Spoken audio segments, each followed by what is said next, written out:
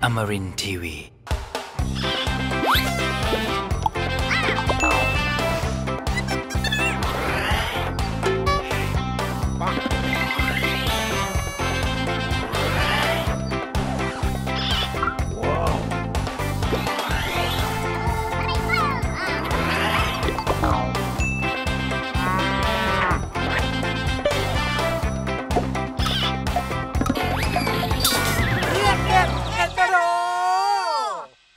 นุนโดยคู่ดิน by SCGP คุณภาพมั่นใจพืชโตไวใช้ปุ๋ยคู่ดิน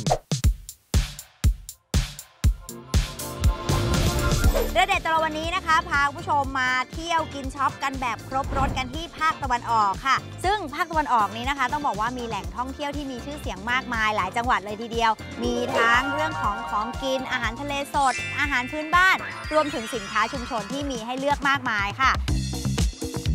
แล้ววันนี้นะคะเราพาคุณผู้ชมมาเที่ยวกันที่จังหวัดตราดค่ะ อีกหนึ่งจังหวัดนะคะ ที่ต้องบอกว่ามีเสน่ห์ไม่เหมือนใคร แล้วก็มีแหล่งท่องเที่ยวมากมายหลายแห่งที่มีชื่อเสียงด้วยการเดินทางมาที่นี่นะคะ นอกจากจะใช้เวลาถ้าเกิดว่าเป็นรถยนต์เนี่ยก็จะไม่ถึง 5 ชั่วโมงเท่านั้นเองนะคะ หรือว่าทางเลือกที่รวดเร็วแล้วก็สะดวกสบายก็คือการเดินทางด้วยเครื่องบิน ก็สามารถที่จะมาที่จังหวัดตราดได้เช่นกันค่ะ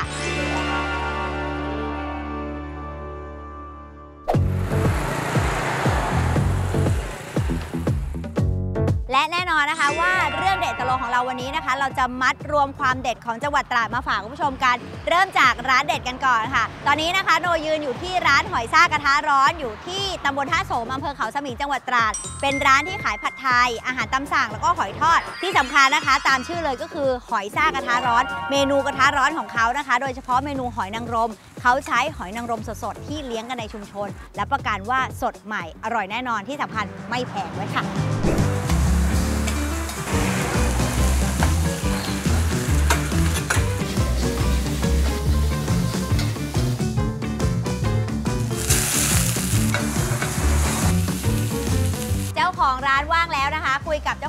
องร้านก่อนพี่นิ่มสวัสดีค่ะ คือถ้าเป็นช่วงเที่ยงคนจะเยอะแบบเมื่อกี้นี้ใช่ไหมคะ คือร้านนะคะจะห่างจากสนามบินตราดประมาณ 4-5 กิโล แล้วก็จะเน้นเมนูก็คือผัดไทยหอยทอดเนาะแต่ว่าหอยซ่ากระทะร้อนนี่มันยังไงพี่ ความจริงหอยซ่ากระทะร้อนเป็นเสียงค่ะ อ๋อเสีเวยงลามันอยู่ในกระทะใช่อ่าซูซ่านิดนึง แล้วก็เห็นบอกว่ามีตำสั่งมีอะไรอย่างนี้ด้วย มีค่ะมีจ้ะข้าวด้วยค่ะ ของเราส่วนใหญ่เมนูที่แบบขายดีในร้านที่ลูกค้ามาส่วนใหญ่จะนิยมกินคืออะไรคะ หอยทอดค่ะหอยทอดทางร้านจะทำกรอบอะค่ะ อืม แล้วก็จะมีหลายอย่าง มีหอยแมลงภู่ มีทะเลรวม แล้วก็มีหอยนางรม เห็นบอกว่าอย่างตัว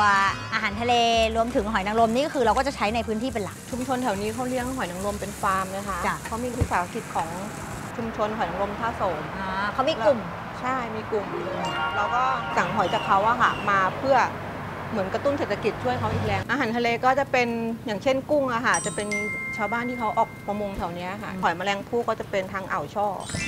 ก็ของจังหวัดตรังเหมือนกันคือเหมือนส่วนใหญ่ตัววัตถุดิบสดของเราเนี่ยก็จะอยู่ในพื้นที่ที่อยู่รอบๆ เรานี่แหละ เพราะฉะนั้นเราก็หนึ่งได้ของสด แล้วก็ขายไม่แพงด้วย หนูเห็นเขียนราคานี่ หอยทอด 40 ซีฟู้ดก็ 50 นะคะ คือราคาแบบไม่เน้นแบบสูงมาก ตรงนี้นะคะจะเป็นโซนที่เขาทำกับข้าวก็ผัด ทอดอะไรก็แถวนี้แหละ ตรงนี้แหละเนาะแล้วก็ให้ดูหอยนางรมนะคะ หนูขออนุญาตได้ไหมพี่นิ่มนี่ตัวแบบอวบอ้วนเลย เดี๋ยวน้องสั่งเป็นเป็นอส่วนอส่วนก็จะนุ่มๆเนาะค่ะ แล้วมีแนะนำอะไรอีกดีคะ ก็เป็นหอยทอดจะเป็นแป้งกรอบค่ะแป้งกรอบ ผัดไทยก็มีนะคะอ่างั้นเป็นทะเลได้ไหมถ้าแป้งกรอบเป็นแบบทะเลรวมได้ได้ไหมค่ะจะมีกุ้งหอยหมึกอะทะเลรวมกรอบแล้วก็เป็นแบบอส่วน เอาสวนจ้ะโอเค เป็นกระทะร้อนหมดเลยนะ ได้เลยค่ะ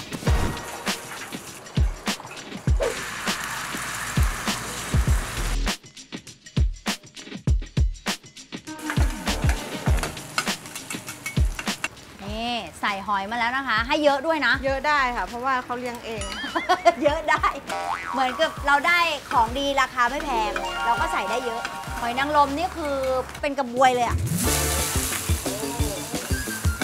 อุ้ยถั่วงอกน่ากินมาก พี่นิ่มบอกว่าคนในชุมชนเขาปลูกเองเขาเพาะเองนะคะเอ่อส่วนจานแรกของเรานะคะ น่ากินมาก ควันแบบฉุยๆเลย เสิร์ฟมาในกระทะร้อนๆ สมชื่อเลย หอยซ่ากระทะร้อนเพราะว่าเสียงแบบซูซ่ามาก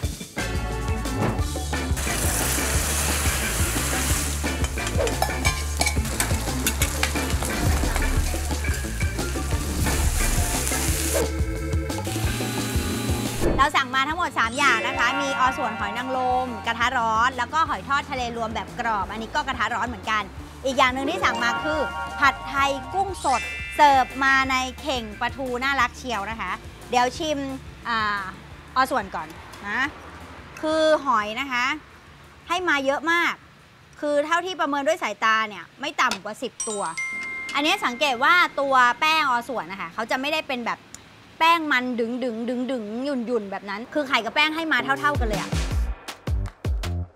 ถ้าใครชอบกินอส่วนที่แป้งมันจะเยอะๆเหนียวเหนียวดึงดึงอะไม่ใช่ที่นี่ ของร้านหอยซ่ากระทะร้อน แป้งเขาจะเป็นแป้งแบบนุ่มพอประมาณ คือแป้งกับไข่อย่างที่โนบอกว่าสัดส่วนมันเท่ากันเลย มันจะมันจะมีความ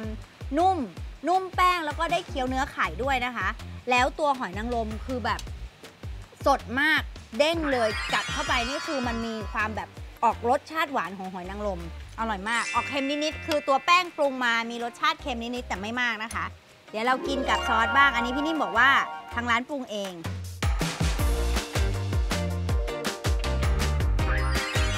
น้ำจิ้มนี่คือรสจัดค่ะรสจัดคือเปรี้ยว เปรี้ยวหวานเค็ม เผ็ดนิดเดียวไม่เผ็ดมาก น้ำจิ้มอร่อยมาก มันช่วยตัดเลี่ยนดีมาก แล้วถั่วงอก ถั่วงอกนี่คือดีมาก เพราะว่าด้วยความที่ตัวเขาเป็นตัวแบบเล็กๆอะค่ะ พอผัดแล้วเจอไฟแบบความร้อนแบบสะดุ้งสะดุ้งอะ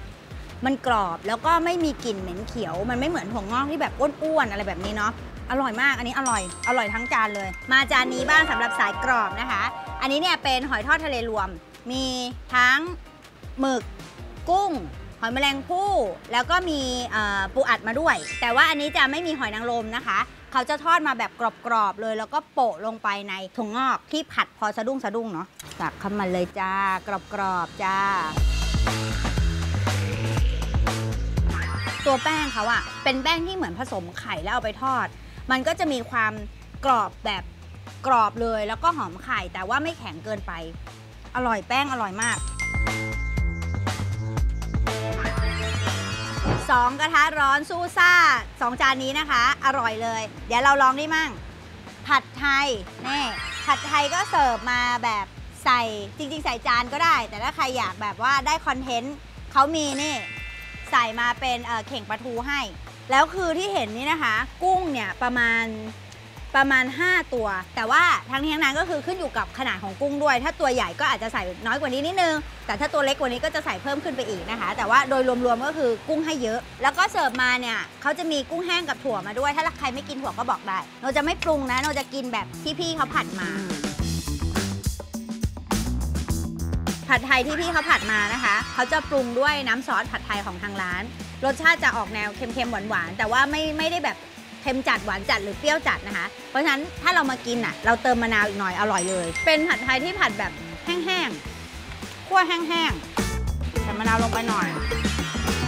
นี่ให้เส้นมาเยอะมากนะคะเนี่ยกินกุ้งบ้างค่ะนี่กุ้งคือกุ้งทะเล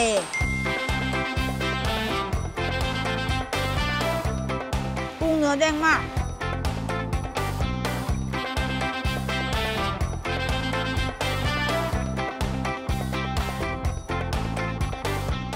ดูราคาอาหารที่เรากินกันไปนะคะ เริ่มจากจานนี้ก่อนเลย หอยนางรมแต่เป็นอส่วน จานนี้เสิร์ฟมาแบบกระทะร้อน 60 บาทค่ะ หอยทอดทะเลรวมแบบแป้งกรอบนะคะ เสิร์ฟมาในกระทะร้อนเหมือนกันก็ 60 บาท ส่วนจานนี้นะคะจะเป็นผัดไทยกุ้งสด 50 บาท เท่านั้นเองให้เยอะมากด้วยนะคะ วันนี้กินไปทั้งหมด 170 บาท เท่านั้นเอง จริงที่ร้านมีหลายเมนูมากค่ะ ผัดไทยผัดซีอิ๊วสุกี้อาหารตามสั่งอะไรแบบนี้ ใครที่อยากมาตามรอยนะคะ แนะนำเลยเป็นอีกหนึ่งร้านเด็ดของจังหวัดตราดเนาะพิกัดของร้านนะคะ อยู่ที่ตำบลท่าโสมอำเภอเขาสมิงจังหวัดตราดปักจีเพจมาได้เลยว่าหอยซ่ากระทะร้อน แล้วก็ร้านนะคะจะอยู่ไม่ไกลจากสนามบินตราดอยู่แค่ห่างกันประมาณ 4-5 โลเท่านั้นเองนะคะ ที่สำคัญก็คือเป็นร้านที่เน้นการใช้วัตถุดิบจากชุมชนด้วยนะคะ โดยเฉพาะหอยนางรมนี่สดเด้งแล้วก็ให้เยอะมากที่สำคัญไม่แพงด้วยค่ะ หอยซ่ากระทะร้อนค่ะ